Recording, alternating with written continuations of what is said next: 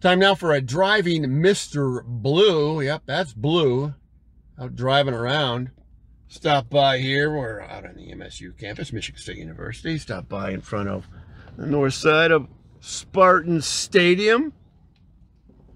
It's the site of the spring game this coming Saturday. Michigan State's going to welcome 6,000 fans um, via some type of an app. I guess you have to uh, work to, to get uh, access, uh, donors first and uh, regular fans later. It's just good to get people in here.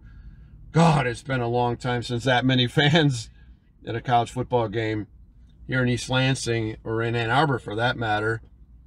Did not have a spring game in Ann Arbor last week. Um, a practice, if it was last week or the week before, I can't remember. Um, media was not allowed. Uh, it was not good um, uh, you know, that they can't access it. It was, there's a, a, huge void here. I hope the fall that changes.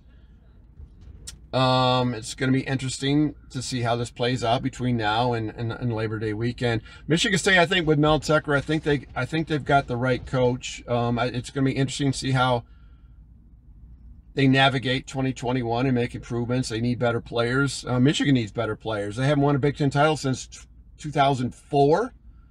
And, you know, when you're get a number 10, another 11 recruiting class, and you can't really even compete for a Big Ten title, and Ohio State keeps getting better and better players. Um, I saw a stat the other day in the last few years, Michigan's had 20 or 38 transfers from their program.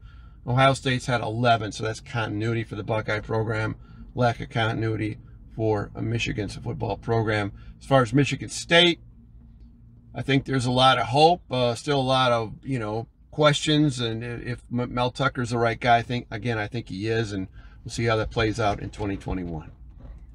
Again, I hope your Monday is absolutely marvelous. And we'll talk to you tomorrow for another Tom's Take.